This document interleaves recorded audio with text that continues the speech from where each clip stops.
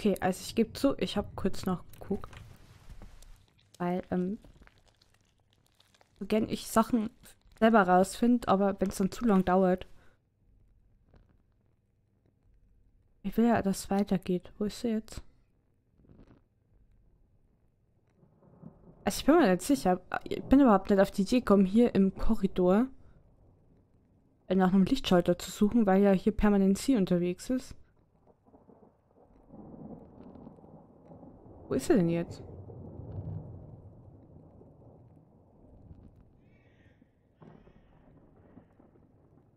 Hä? Jetzt weg. Hä? Ah, da. Okay.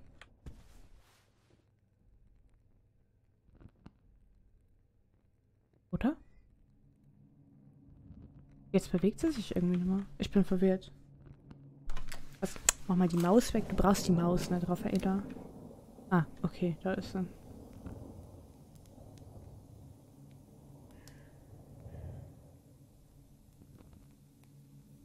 Du musst jetzt kurz warten, weil ich muss in die Richtung, wo sie jetzt hinläuft. Und angeblich gibt es da einen Lichtschalter. Das heißt, auf die Idee bin ich gar nicht gekommen, dass da ein Lichtschalter sein könnte.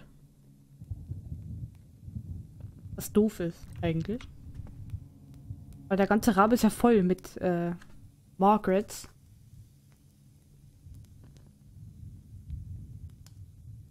bin froh, dass ich such a schon.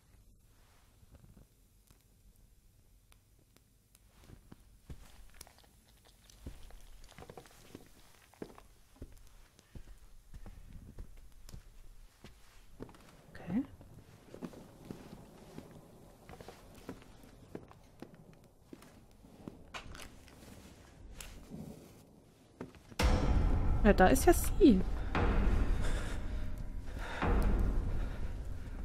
Oh, er rennt dann an nie in der geraden Linie. Hä?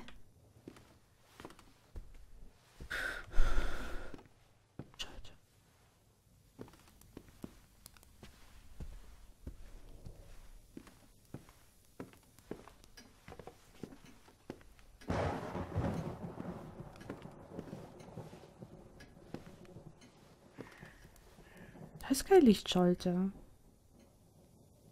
Da muss aber einer sein, weil das war das Bild, das ich gesehen habe. Past the door.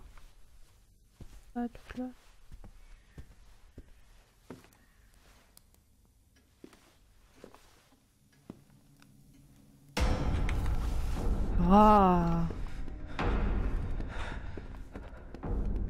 Keine Ahnung, wo ich gerade hin darf. Nicht richtig, wie es scheint. Hallo? Hallo? Oh. Oh Mann. Hä? Lichtschalter. Das ist doch ätzend. Wo ist der Kack-Lichtschalter?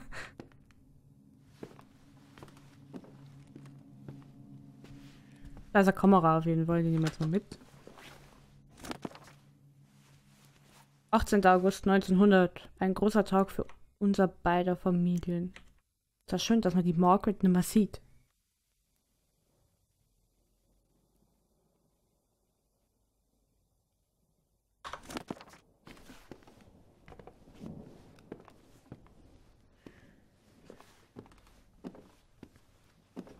Ich befürchte,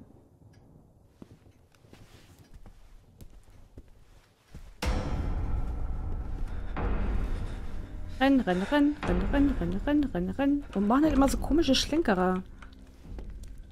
Ah.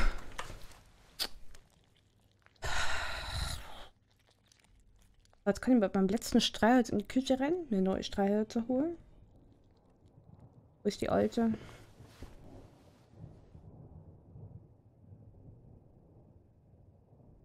Hinten irgendwo, ne? Errungenschaft freigeschaltet. Letzte Patrone. Wenn sie jetzt hier ist, dann kotze ich ins Gemüse.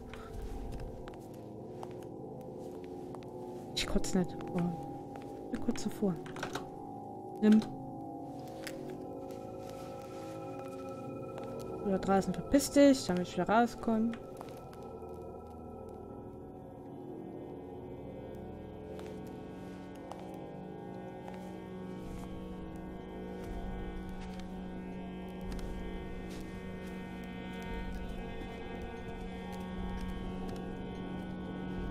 Bewegt sich.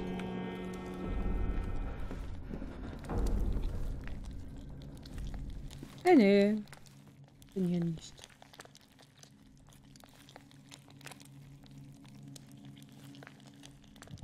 Ah, Geräusche.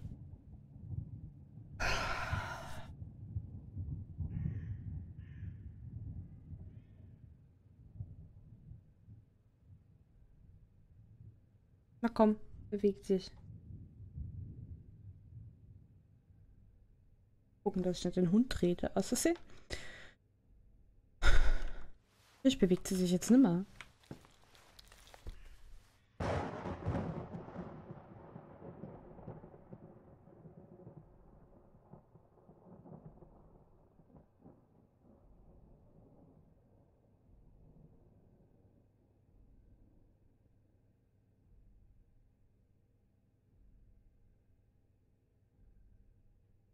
Hallo.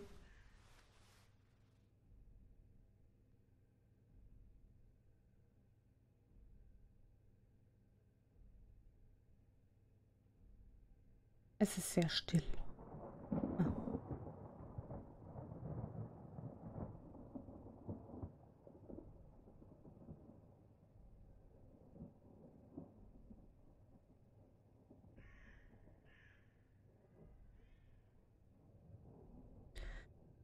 Ich will jetzt nochmal speichern. Ähm.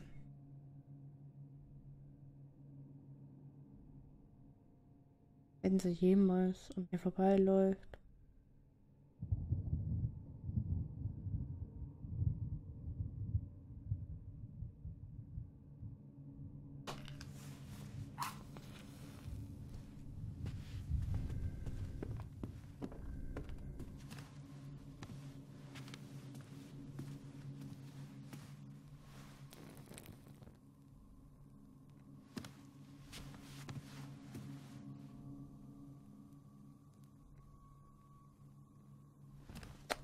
Nicht so langsam. Die schleicht doch jetzt mit Absicht. Nur um mich zu ärgern.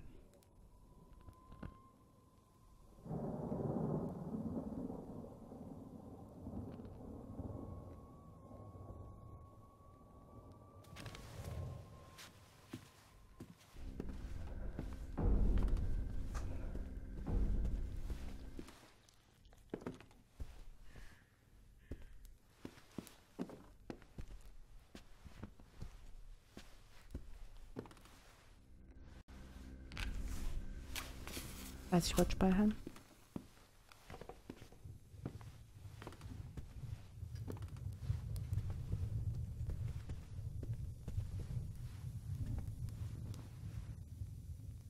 Lichtschutz.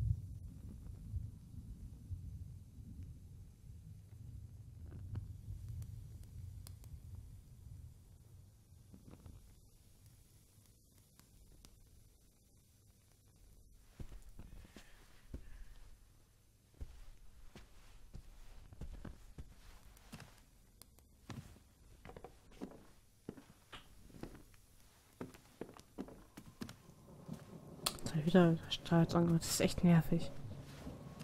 Da kann ich doch mit dem Strahlholz in der Hand auf den Stuhl sitzen und nachdenklich gucken.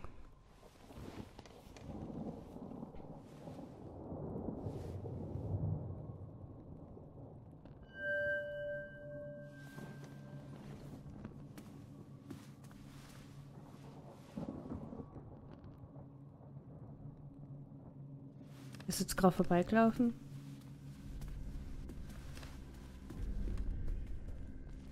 Sie. Na komm. Manchmal verändert er die Kamera und manchmal nicht.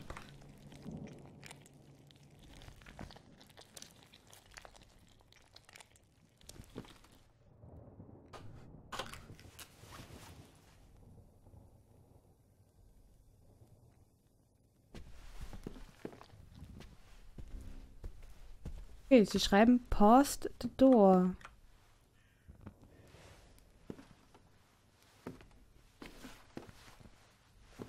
Ach.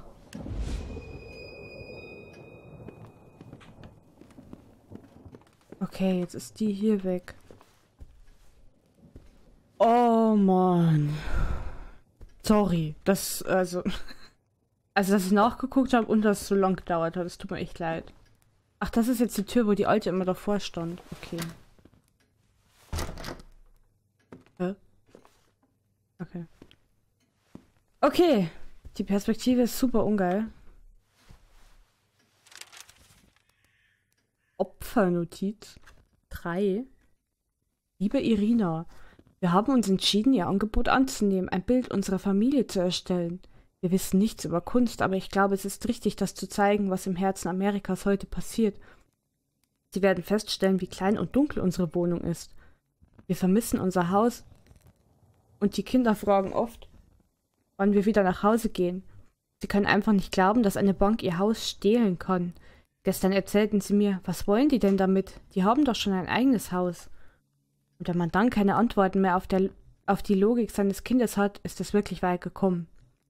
Wie dem auch sei, Sie wissen jetzt, dass Sie vorbeischauen und Sie sind sehr aufgeregt. Wir warten auf Sie. Sie kennen ja unsere Adresse im Black Lake. Bis bald. Marilyn Campbell. Oh. Okay. Waren wir dieser komische Serienmörder? Ah ja, natürlich brauchst du für beide Hände du.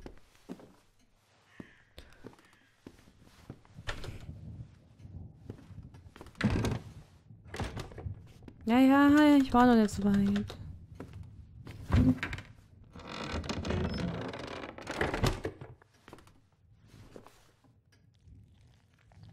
Oh, ich höre es schon wieder rum. Schleimen. Was auch immer im Bild ist, das blickt auch auf dich. Aha. Das ist so ein Hobbyphilosoph, der Alte. Diese Glühbirne hatte hier keinen Zweck. Wo war ihre Holterung? Wo war ihre Halterung? Haben wir schon irgendwo Glühbirnenhalterung ohne Glühbirne gesehen?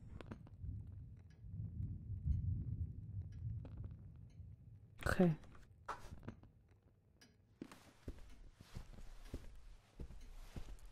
Nein, ja, ja, ich, ja, die Tür. Aber warum geht die von außen nicht auf, aber von innen schon? Egal. Hm, die Mutter von Männern. Meine Mutter. Äh, nee, das ist nicht richtig. Das haben wir gerade aufgemacht. Vespa Inc.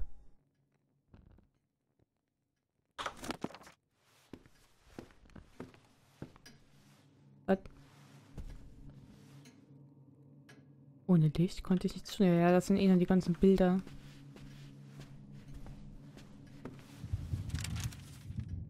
Bostoner Brahman, 6. Juni 1938. In diesen turbulenten Zeiten träumt man von der ruhmreichen Vergangenheit unserer Stadt, von ihren Gründervätern, die ihre Mauern errichtet und gefestigt haben. Das sind die Brahmanen von Boston, hohe Tiere, Geschäftsleute, Anwälte und Soldaten, deren Moralitätsverständnis die Grenzen der Stadt gezogen hat und ihr eine Seele gab. Und was für eine Seele! Ohne sie wäre Boston auch nur eine von vielen kleinen Städten an der Ostküste, Dank ihnen wurde es in weniger als einem Jahrhundert zu dem großen ökonomischen, finanziellen und kulturellen Zentrum, das wir alle kennen. Und während wir die schon sehen, die das kommende Jahr 100 gestalten werden, die frischen Absolventen von Harvard, dem Symbol der Stadt für das Streben nach Qualität, wollen wir auch den Geist der Pioniere nicht vergessen, die aus Neuengland kamen und der noch in den Gedichten von T.S. Eliot und der Stimme von Catherine Hepburn zu finden ist. Vor acht Jahren hat sich Malcolm Nichols von seinem Posten zurückgezogen. Er war der letzte der Brahmanen, der letzte Republikaner, der das Bürgermeisteramt innehatte. Doch es ist noch hier das edle Blut, das Straßen, Schulen, Kirchen, Gerichtssäle und Krankenhäuser errichtet. Keine Wirtschaftskrise, egal wie schlimm sie auch ist, wird jemals ihre Würde wegspülen.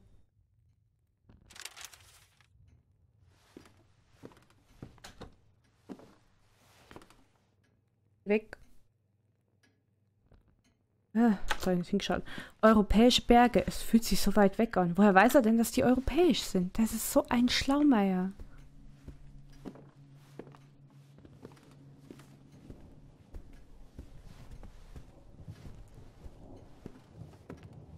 Verändert sich das Bild irgendwann mal wieder? Da ist die alte. Kommt gerade angescheißert. Jetzt haben wir Glühbirne. Ich tippe jetzt einfach mal drauf, dass die Glühbirne da im Büro an das Kabel muss. Geh bitte wieder.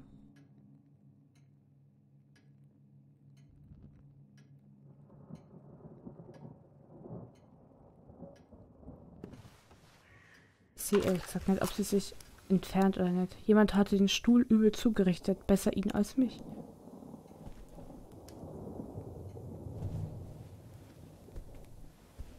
Er entfernt sich nämlich nicht. Geh weg, du. Bitte. Kuh.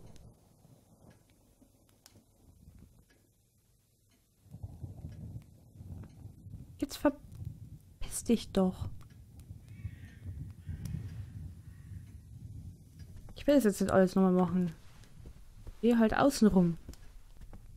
Mir doch egal. Guck mal hier die Bilder nur an. Ich glaube, das habe ich auch schon gemacht. Ja, das konnten wir schon. Konnten wir auch schon. Ah. Ja, konnten wir auch schon.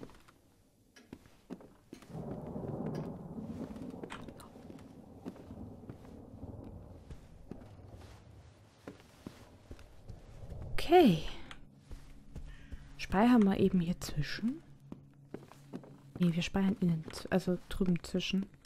So lange hält das Streichholz hoffentlich noch. Ich hält es nicht mehr so lang.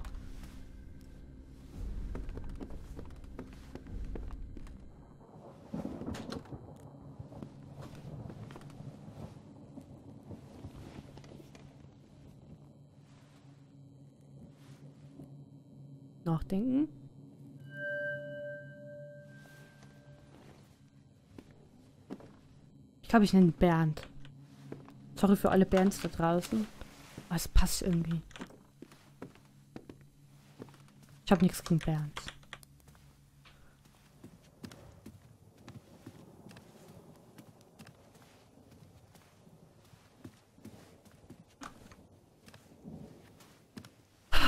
Wenn die Glühbirne da jetzt nicht passt, dann glaube ich, schmeiße ich alles hin.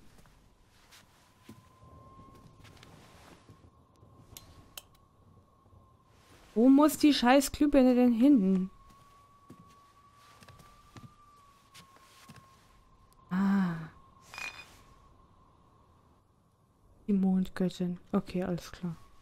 Hoffentlich verschwindet die jetzt.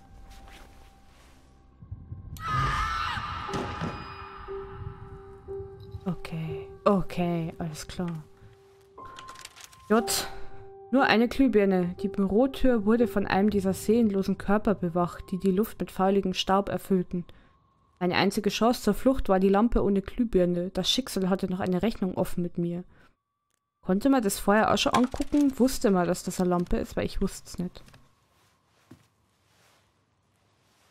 Ja, da war gerade was. Eine Opfernotiz. Liebe Mama, Mach dir bitte keine Sorgen. Roberts Gehalt wurde um die Hälfte gekürzt, aber, es müsste, äh, aber er müsste seinen Job behalten können. So ist das nun mal in der Krise, selbst wenn es bedeutet, dass wir mit 20 bis 25 Dollar pro Woche auskommen müssen. Ich versuche für Essen Sachen zu tauschen und ein paar kleine Dinge zu tun. Koche mehrere Mahlzeiten gleichzeitig, um Gas zu sparen. Ich sammle gebrauchte Kleidung und bringe sie wieder in Form und Brot kaufe ich natürlich nur das vom Vortag. Wenigstens schlingen die Jungs das Brot nicht so schnell herunter, wenn es schon etwas härter ist. Aber wir haben Glück, keiner von ihnen ist krank geworden. Der Winter steht vor der Tür. Letzte Woche war ich mit Paul im Kino. Wir haben uns der blaue Engel mit Marlene Dietrich angesehen. Was für eine Frau.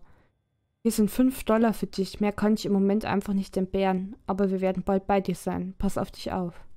Beth Rogers.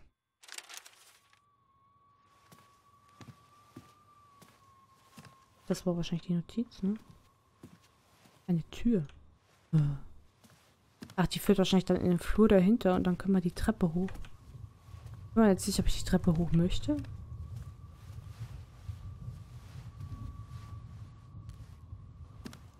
The victims were all women from the lower classes, already bled dry by the depression. Who could be collecting these kinds of clippings? Tja,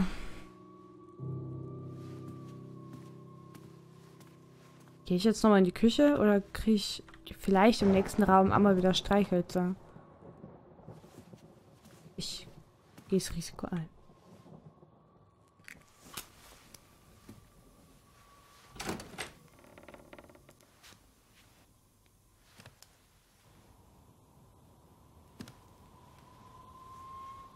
Okay.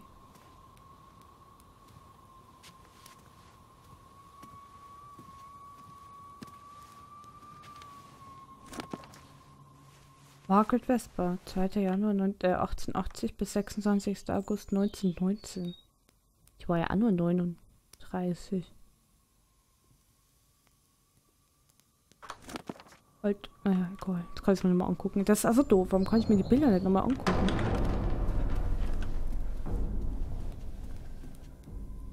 Okay. Alles klar.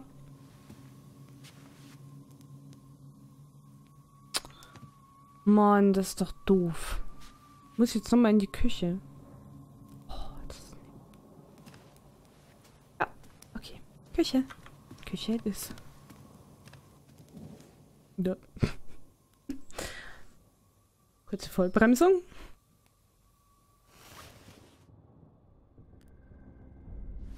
Kurzes Durchdrehen.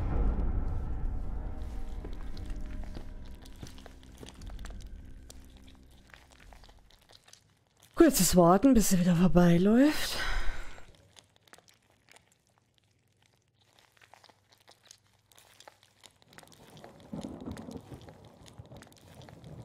Streichholz. Loslaufen. Äh, abbiegen. Hoffen, dass sie hier nirgends ist. Abbiegen. Oh, die. Okay, okay. Alles gut, alles gut. Oh, kein Problem. Mache ich denn, wenn ich hier keine Streichhölzer mehr habe?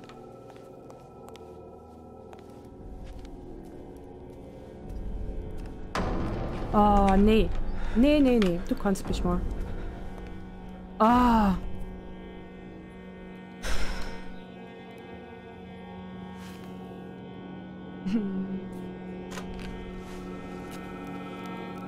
Wie viel sind liegen? Ah, sind alle nur 17.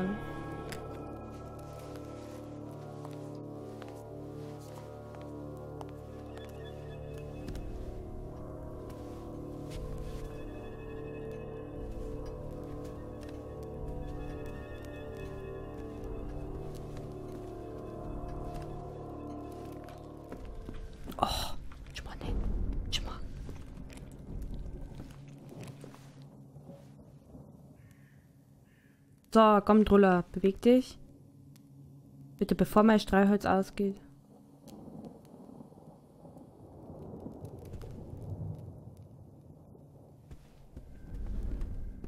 Damit ich noch schnell die Kerze anzünden kann. Danke. Okay. Jetzt darf Streichholz ausgehen, bitte. Egal.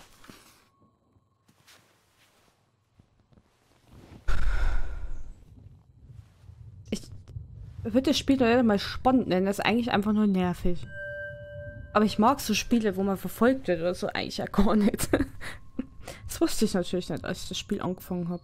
So, schaffen wir es jetzt äh, ans andere Ende vom Raum, ohne dass wir durchdrehen? Fuck ja. Sehr schön. Okay. Sie ist also an der Treppe. Ich hoffe, sie ist nur an der Treppe. Und jetzt halt im ganzen Raum. Das wäre schön. Der Sarg verströmt einen üblen Geruch. Oh, nach Tod und Verwesung. Okay, sie ist im ganzen Raum. Oh Mann.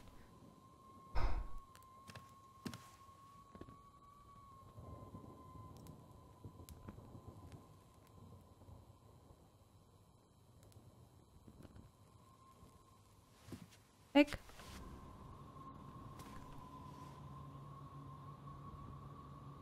Frage ist, wo läuft sie denn hin?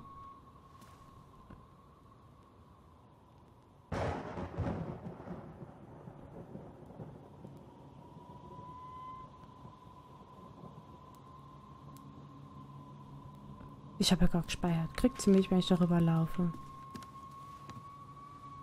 Ohne Licht konnte ich nichts tun. Überraschung. Okay, sie kommt. Nee, ich glaube, die läuft nur da so hin und her. Frische Erde, feuchtes Holz. Die Särge waren erst vor kurzem ausgegraben worden. Gehst du aber wieder weg oder bleibst du dort stehen? Warum läufst du so komisch? Er wirkte in dieses Buch versunken. Ja, ja, ich dachte, du guckst es den Sarg an.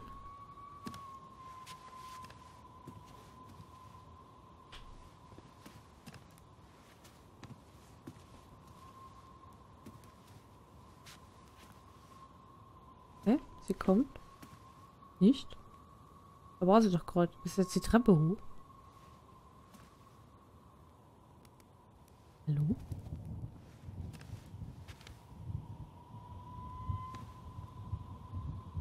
Was ist denn jetzt?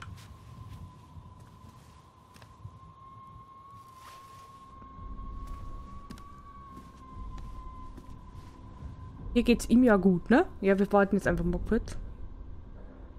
Nein, hier geht's ihm nicht gut. Du bist ja im Licht. Stell dich halt nicht so an.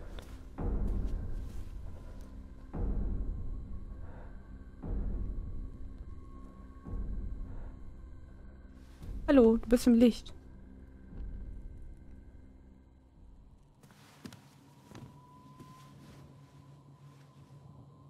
Boah, das ist immer so eine Streichholzverschwendung alles.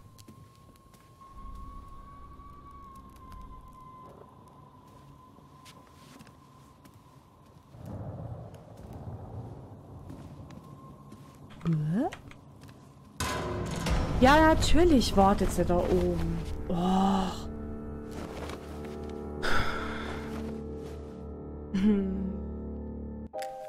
Ja, mach doch bitte einfach Streichholz an. Das ist eine gute Idee. Mann, das nervt auch, dass er immer Streichholz anmacht, wenn man neu startet.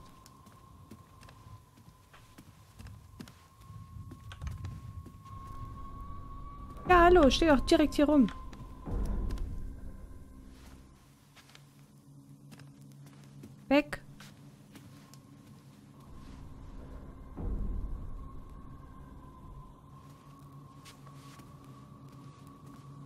Merke, wir wollen nicht die Treppe hoch.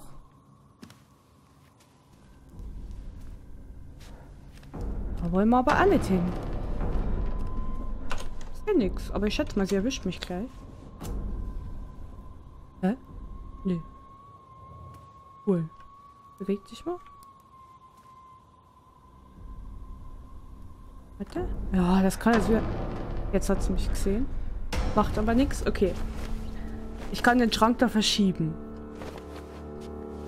Vorher brauche ich aber Licht, weil ohne Licht kann er wieder nichts. Aber ich glaube, ich habe da gerade einen Lichtschalter gesehen. Mann. Da.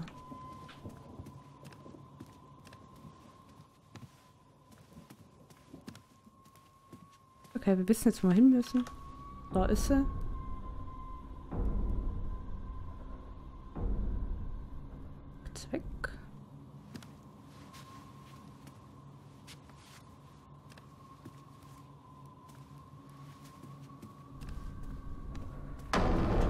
Keinen Lichtschalter. Hä?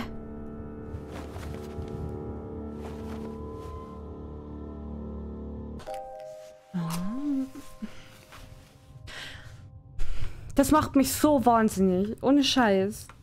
Warum macht er das? Ich drücke nichts. Der macht's an und dann macht das wieder aus. Ich drücke nichts.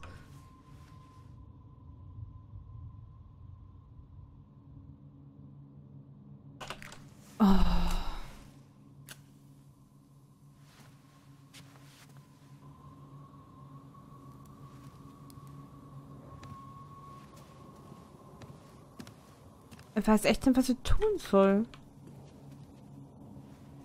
Am besten Tagebuch lesen.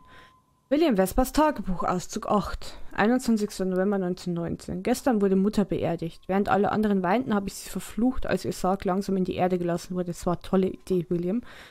Es war eine düstere Feier für mich. Sie ist wieder dort, wo sie hingehört. Und der Erde ist das egal. Sie hat keine Angst vor ihr. Sie hat keine Ohren, um sie schreien zu hören, oder eine Haut, um unter ihren Schlägen zu leiden. Doch nachts in meinem Zimmer, als ich die Kerze ausgepustet hatte, spürte ich einen Hauch direkt neben meinem Ohr. Dann hörte ich ihre Stimme. Ich werde dich retten. Ich habe geschrien. Sarah kam und schaute, was passiert ist. Ich bat sie ganz nah bei mir zu schlafen. Ich habe die ganze Nacht von Mutter geträumt. Sie lief leise durch das Haus mit ihren blinden Augen. Sie wartete hinter meiner Zimmertür wie ein Wolf. Dr. Rosenthal sagt, das kann allen Trauernden passieren, dass sie halluzinieren. Für mich passiert es aus Angst. Ich bilde mir nichts ein. Margaret ist immer noch hier.